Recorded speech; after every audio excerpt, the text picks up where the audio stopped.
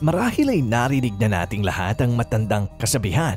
A picture is worth a thousand words. Pagdating sa mga larawang nakuna ng James Webb Space Telescope, hindi sapat ang isang libong salita. Oras na para tingnan ang mga bituin dahil nakakuha ang James Webb Space Telescope ng ilang kahangahangang larawan na maaring magbago kung paano natin maintindihan ang sandaigdigan. Kung ikaw ay isang space lover o isang patak na astrophile, tiyak na magugustuhan mo ang mga cosmic shots na ito. Ang mga ito ay kahanga-hanga at magkakaiba na para bang sila ay kinuha mula sa isang sci-fi film o pininturahan ng isang malikhaing henyo. Ngunit ang pinakamahalaga, masasagot nila ang napakaraming tanong tungkol sa ating kalawakan na ilang dekada na nating sinusubukang lutasin. James Webb Space Telescope ang paggalugad sa kalawakan ay umiiral mula pa noong unang bahagi ng ika-20 siglo at ang sangkatauhan ay patuloy na sumusulong at nakakakuha ng bagong kaalaman tungkol sa kalawakan.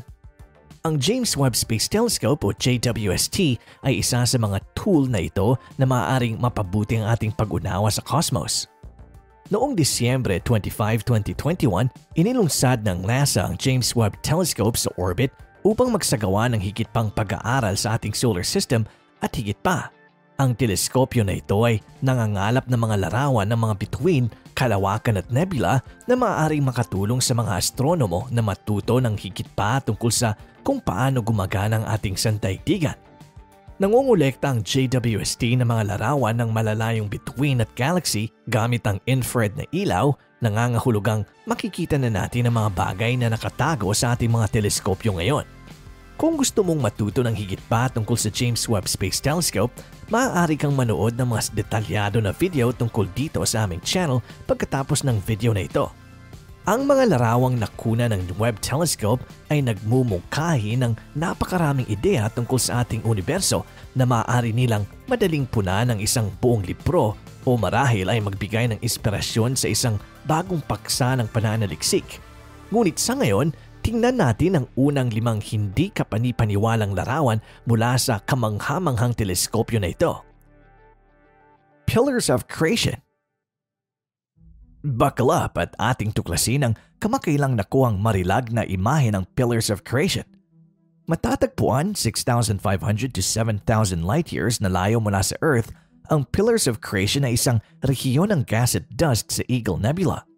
Una itong nakuna ng Hubble Space Telescope ng NASA noong 1995, ngunit kamakailan noong Oktubre 19, 2022, ginamit ng mga astronomo ang near-infrared ng JWST. Ang mga haligi nito ay patuloy na lumilipat sa may transparent na gas at mga istrukturang puno ng dust na animoy haligi at tore na umaangat mula sa isang tanawin ng disyerto. Sa rehiyong ito, ang mga batang bituin ay nabubuo pa rin o nagsisimula pa lamang na lumabas mula sa kanilang mga maalikabok na cocoon. Bigyang pansin ang mga dulo ng mga haligi na mistulang kumikinang na lava. Dito, ang mga batang bituin ay nagbubuga ng mga material na sumasalungat sa mga haligi na siyang dahilan upang bumuo ng mga kulot na pattern. Ang pulang glow na iyon ay dahil sa mga energetic na hydrogen molecule. Ang mga siyentipiko ay sabik na naghihintay sa impormasyong ito ito ay lubos na makakatulong sa kanila sa paggawa ng modelo ng pagbuo ng bituin sa pamamagitan ng paghahanap ng mga tumpak na bilang ng mga bagong nabuong bituin pati na rin ang dami ng gas at dust sa rehiyon. Magkakaroon sila ng mas mabuting pag-unawa sa milyon-milyong taon ng pagbuo ng bituin at pagsabog ng bituin sa maalikabok na ulap na ito. Max 0647JD Narinig na natin ang isang paraan na pwedeng magamit ang mga kumpol ng kalawakan upang tingnan ang pinakamalayong mga kalawakan sa sandaigdigan. Alam natin parang imposible ngunit kayang-kaya ito ng JWST ang paggamit ng mga bagay na tulad nito upang malaman ang higit pa tungkol sa ating mundo. Napag-alaman ng mga astronomo kamakailan lamang noong Oktubre 27, 2022 ang mga bagay mula sa unang bahagi ng cosmos na hindi pa nakikita noon pa salamat sa napakalakas na paningin ng web at isang magnifying trick ng gravity. Ang MAX 0647, ang kumpol ng kalawakan sa harap ng MAX 0647JT ay nagpapalaki sa kalawakan ng MAX 0647JT. Bilang resulta, ang mga bagay na pinalaki ay maaaring lumitaw na baluktot o na doble pa sa perimeter ng cluster Tulad ng nakikita sa larawan, ang MAX 0647JT ay nagpapakita ng tatlong beses. Ang Galaxy MAX 0647JT ay nakita ng Hubble. Gayunpaman kung saan ang Hubble ay nakakita lamang ng isang bagay, natuklasan ni Webb ang dalawa. Nagsasama ba sila sa dalawang kalawakan o dalawang kumpol ng bituin sa loob ng isang kalawakan? Pagamat hindi pa natin alam, maaring masagot ito ng Webb. SMAX 0723 ang pinakadetalyado at malinaw na infrared na imahe ng malayong kalawakan ay nakunan pa ng James Webb Telescope ng NASA. Tinutukoy din ito bilang Webb's first deep field o SMAX 0723. Hindi ito ordinaryong larawan. Ito ay larawan ng isang pangkat na mga kalawakan na matatagpuan 4 na bilyong light years ang layo mula sa Earth at matatagpuan sa konstelasyon ng Volas sa Timog Hemisphere. Maaaring hindi mo masyadong iniisip ang tungkol sa alikabok kapag tumingala ka sa kalangitan sa gabi. Ngunit talagang mahalaga ito sa pagbuo ng mga bituin, kalawakan at maging sa buhay. Bagamat hindi ganong kita, ang cosmic shot na ito ay nagpapakita ng bahaghari ng mga maliliwanag na kulay at hina-highlight ang mga lokasyon ng alikabok. Ang mga bituin na may kulay asul na kalawakan ay mayroong kaunting alikabok ang mga pulang bagay naman ay nakabaon sa isang makapal na patong ng alikabok. Samantala, mayroong mga hydrocarbon at iba pang mga kemikal na sangkap sa mga berdeng kalawakan. Ang mga data na ito ay makakatulong sa mga mananaliksik na mas maunawaan kung paano nabubuo, lumalawak, nagsasama ang mga kalawakan sa isa't isa at sa ilang mga kaso kung paano ito huminto ng tuluyan sa paggawaan ng mga bituin. Carina Nebula Sino nga ba ang hindi mabibighani sa isang magandang litrato ng kalawakan? Marahil ay nakita mo na ang cosmic shot na ito na ibinahagi ng ilang beses sa social media at ang kamanghamanghang larawan na ito ng Carina Nebula ay deserving naman talaga na i-share. Ang Carina Nebula ay tinawag na ng maraming pangalan, ang Eta Carinae Nebula, ang Great Stellar Nursery at simpleng Carina Nebula. Lahat ay ginagamit bilang mga descriptor para sa malawak na lugar na ito. Ito ay maliwanag at madilim na nebulosity sa konstelasyon ng Carina na matatagpuan sa Carina Sagittarius arm ng ating Milky Way Galaxy. Ano ang ibig sabihin nitong lahat? Una, magsimula tayo sa terminong nebula. Ang nebula ay karaniwang anumang ulap ng gas o dust na nililiwanagan ng mga kalapit na bituin. Madalas silang inilalarawan bilang malalaking rehiyon ng kalawakan kung saan ipinanganak ang mga bagong bituin ang Carina Nebula ay hindi basta-basta anumang nebula. Isa ito sa pinakamalaking rehiyon na bumubuo ng bituin na kilala na umiiral sa ating kalawakan. Ngayon, ang larawang ating nakikita ay nagpapakita ng gas, alikabok at mga bituin na ipinanganak sa Stellar's Nursery ng Nebula. Ang eksenang ito na tila ba parang bundok na may mga makikinang na bituin ay ang gilid ng NGC 3324 sa Carina Nebula. Ang lugar ay maaari ding kilala bilang ang Cosmic Cliffs at matatagpuan ito sa humigit kumulang 9,100 light years ang layo. Sa itaas ng rehiyon na makikita sa imaheng ito ay ang matinding ultraviolet radiation at stellar winds mula sa napakalaki, mainit at mga batang bituin na matatagpuan sa gitna ng bubble. Pinakamahalaga, ang mga pag-aaral na ito ng NGC 3324 ay makakatulong sa atin na maunawaan kung paano binubuo ang mga bituin. WASP-96b. Ang James Webb Telescope ay hindi lamang kumukuha ng mga literal na larawan kundi pati na rin ang spectrum ng liwanag ng isang higanting planeta ng gas na lampas sa ating solar system. Ang higanting gas exoplanet na ito ay natuklasan noong 2013 ng Wide Angle Search for Planets o WASP, kaya binigyan ito ng pangalang WASP-96b. Fun fact, ang gas giant exoplanet na ito ay nag-orbit sa isang yellow dwarf na bituin tulad ng ating sariling araw. Bagamat ito ay umiikot lamang sa sariling bituin sa loob ng 3.5 na araw ng Earth. Ito rin ay ipinagpalagay na walang ulap.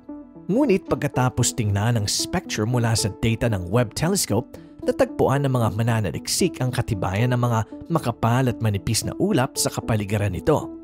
Ang spectrum na ito ay hindi lamang nagbibigay ng patunay ng pagkakaroon ng ulap sa atmosfera ng planeta kundi pati na rin ng tubig. Ipinapakita lang nito kung kaano kahanga-hanga ang Webb Telescope dahil nakikita nito ang mga exoplanet na may atmospheres ng detalyo, kabilang ang mga planeta at maaring tirahan. Ang spectrum ay maaring magbigay daan sa mga siyentipiko na matukoy ang dami ng singaw ng tubig sa atmosfera. Tukuyin ang kasaganaan ng iba't ibang bahagi ng planeta tulad ng carbon at oxygen at kalkuhin ang depth average na temperatura ng atmosfera. Pagkatapos, maaari silang makagawa ng mga konklusyon mula sa data na ito tungkol sa kabuuang komposisyon ng planeta pati na rin kung paano, kailan at saan ito nagmula. Ang kulay asul na linya sa graph ay ang pinakaangkop na modelo na nag-iinterpreta ang kilalang mga katangian ng WASP-96P at ang bituin nito kasama ng laki, temperatura, mass at ipinapahayag na mga katangian ng atmosfera. Stefan's Quintet Kapag nakita mo to, maaaring hindi ka makapaniwala na totoo ito. Ngunit talaga namang walang imposible sa agham. Ito ay isang quintet at nasa konstelasyon ng Pegasus. Tara, ating kilalanin ang quintet ni Stefan. Ito ay ipinangalan pagkatapos ni Edward Stefan na isang Pranses na astronomo na nakatuklas sa grupo noong 1877. Ang Compact Galaxy Group na ito ay pinubuo ng limang miyembro, NGC 7320, NGC 7319, NGC 7318 A and B at NGC 7317. Ang bawat miyembro ay spiral galaxy na umiikot sa paligid isa't isa sa isang mataas na elliptical orbit. Ang NGC 7320 ay isang spiral galaxy sa Stefan's Quintet na makikita sa direksyong clockwise mula sa itaas na kaliwang sulok ng imahe ito ay isang mas malapit na line of sight galaxy kaysa sa iba pang aktwal na miyembro ng pangkat ng kalawakan. Ang distansya sa pagitan ng NGC 7320 at Earth ay 40 million light years ngunit ang distansya sa pagitan ng iba pang apat na galaxy ay humigit kumulang 290 million light years lamang. Ang NGC 7319 ay isang barred spiral galaxy na may mabigat na baluktot na spiral arm ang epekto mula sa iba pang mga miyembro ng quintet ay lubhang nakagambala sa mga braso, alikabok at gas ng kalawakan na ito. Kahit ngayon, ito ang kalawakan na may pinakaaktibong galactic nucleus, isang napakaliking black hole na may mass na 24 milyong beses na mas malaki sa mass ng araw. Aktibo itong nangongolekta ng material at naglalabas ng liwanag na enerhiya na katumbas ng 40 bilyong araw. Ang isang pares naman ng nagbabanggaan ng mga kalawakan na tinatawag na NGC 7318 ay matatagpuan sa humigit kumulang 280 milyong light years ang layo mula sa Earth. Nakuha ng James Webb Telescope ang napakalaking shockwave sa isa sa mga galaxy nito na tinatawag na NGC 7318b na bumangga sa cluster. Panghuli ang isang elliptical galaxy na bahagi ng Stefan's Quintet ay ang NGC 7317 ang isang anyo ng galaxy na kilala bilang isang elliptical galaxy ay may makinis, halos walang katangiang anyo at isang tinatayang elliptical na hugis. Ang pinakabagong larawan ng Webb telescope sa mga quintet ay nagpapakita ng walang kapantay na kalinawan kung paano nag-uudyok ang mga pakikipag-ugnayan ng iba't ibang galaxy sa pagbuo ng bituin sa isa't isa at kung paano naaabala ang gas sa mga kalawakan. Southern Ring Nebula Maaring ito na ang katapusan ng buhay ng isang bituin, ngunit ito ay simula pa lamang ng kagandahan nito. Ito ang nararamdaman natin tungkol sa Southern Ring Nebula na kilala rin bilang NGC 3132 sa gitna ng maraming pangalan nito. Salamat sa Webb Telescope at maaari nating makita ang isa sa mga stellar farewell performances. Nung unang natuklasan ng mga astronomo ang nasabing nebula, naisip nila na ito ay isang bituin lamang sa gitna nito. Ngunit habang patuloy nilang pinag-aaralan itong maputi, napagtanto nilang dalawang bituin ang umiikot sa isa't isa sa hindi kapani-paniwalang bilis at na ang isa sa kanila ay malapit ng mamamatay. Habang nauubusan ng gas at nagsisimulang mamatay ang bituin, inilalabas nito ang mga panlabas na layer nito sa kalawakan na lumilikha ng hugis ng singsing bago bumagsak pabalik sa sarili nito habang nawawala ang mass nito sa paglipas ng panahon ang prosesong ito ay tinatawag na pulsation. Ang inilabas na material ay bumubuo ng isang kumikinang na shell ng gas na tinatawag na planetary nebula. Sa pamamagitan ng pulsation, lumilikha ito ng alikabok na naglalabas ng init sa mga ultraviolet wavelength na makikita natin bilang kulay lila o asul na liwanag sa paligid ng mga kilid ng ating nakikitang bubble. Nagsisimula pa lang natin maunawaan kung ano ang magagawa natin sa mga larawang ito at kung ano ang maituturo nila sa atin tungkol sa sandaigdigan.